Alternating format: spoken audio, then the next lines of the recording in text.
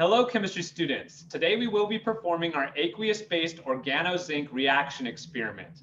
In this experiment, we'll present a variation on the basic idea of a Grignard synthesis.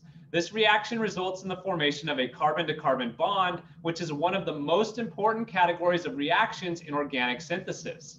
The reaction presented will use zinc as the metal instead of magnesium, which allows the reaction to be conducted in a mixed organic aqueous solution.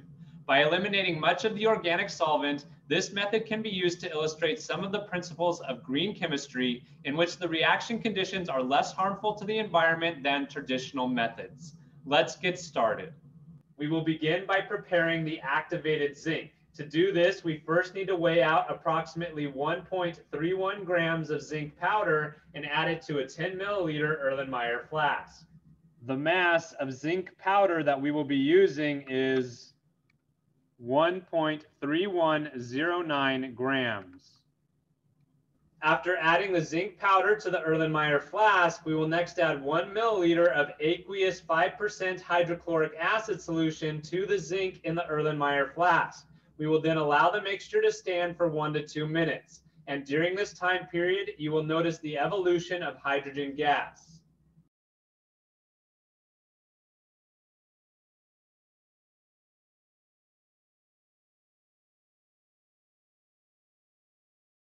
After the one to two minute time period, we will next transfer the zinc mixture to a Hirsch funnel and isolate the zinc by vacuum filtration.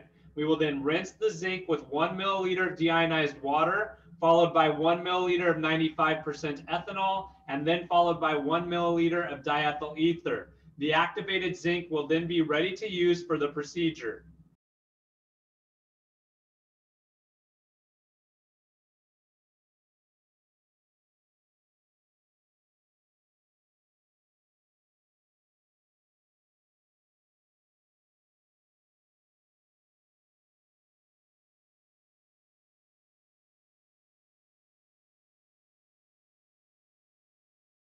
I've transferred the activated zinc to a weigh boat and we will now begin the preparation and reaction of the organozinc reagent. To start, we will add 10 milliliters of saturated aqueous ammonium chloride solution, the activated zinc, and a stir bar to a 25 milliliter round bottom flask.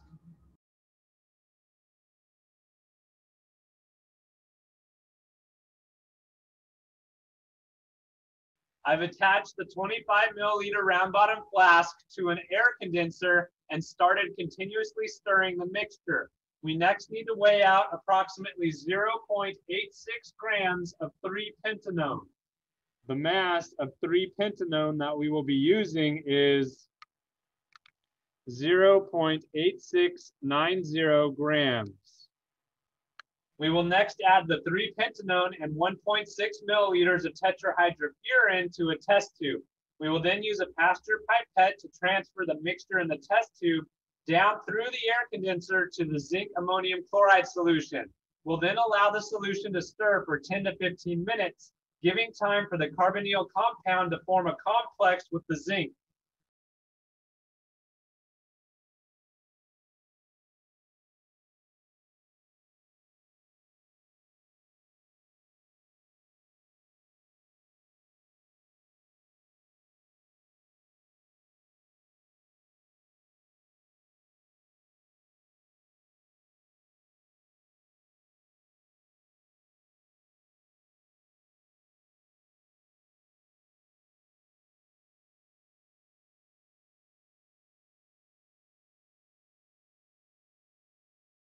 After stirring for 15 minutes, we next need to add approximately 2.4 grams of allyl bromide or 3-bromopropene to the stirring solution. Make sure that you dispense this reagent in the hood. The mass of allyl bromide that we will be using is 2.4395 grams. Next, using a Pasteur pipette, we will add the allyl bromide dropwise through the air condenser and allow the mixture to stir for one hour.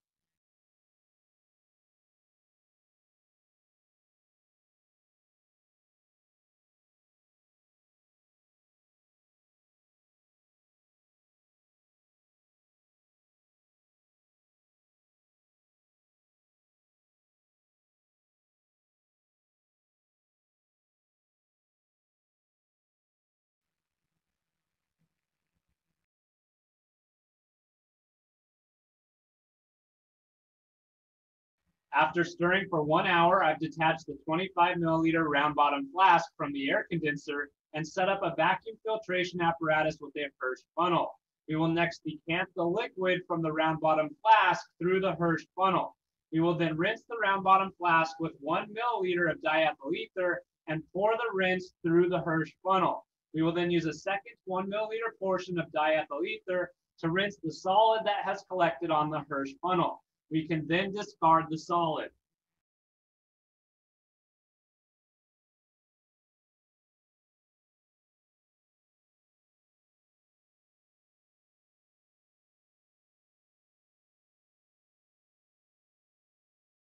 After vacuum filtration, we will next perform an extraction. We'll use a filter tip pipette to transfer the liquid from the vacuum filtration to a separatory funnel. We will then use one milliliter of diethyl ether to rinse the filter flask and transfer the rinse to the separatory funnel. We will then shake the separatory funnel gently to extract the organic material from the aqueous layer to the ether layer. We will drain the lower aqueous layer into a 50 milliliter Erlenmeyer flask and do not discard the aqueous layer.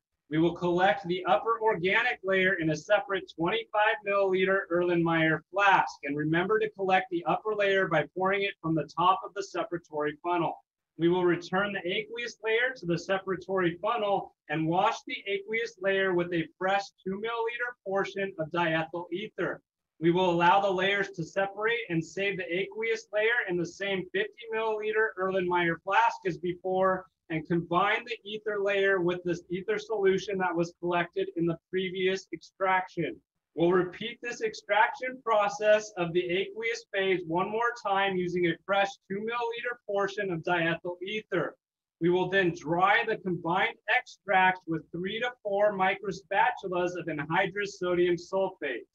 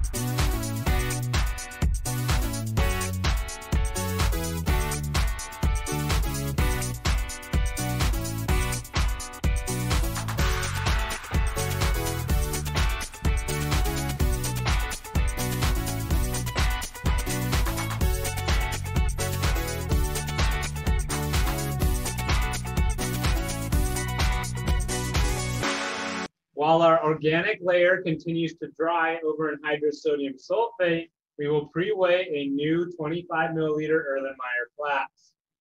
The mass of the pre-weighed 25 milliliter Erlenmeyer flask is 26.6759 grams. We will next transfer the dry ether layer to the pre-weighed 25 milliliter Erlenmeyer flask using a filter tip pipette.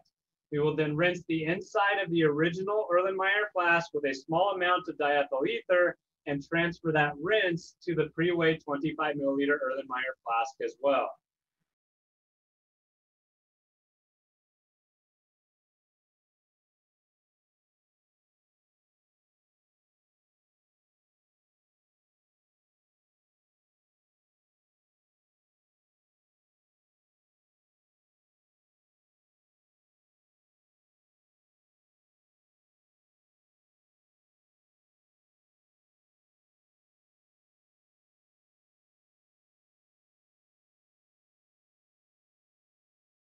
We will next evaporate the ether from the flask using a gentle stream of air.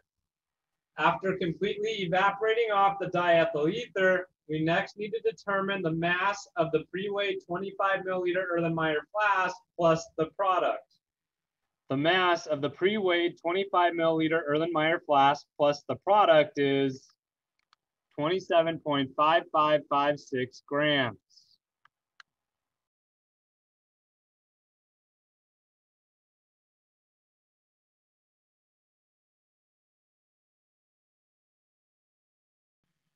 Okay, students, you can now determine the percent yield and analyze the IR spectrum of our product.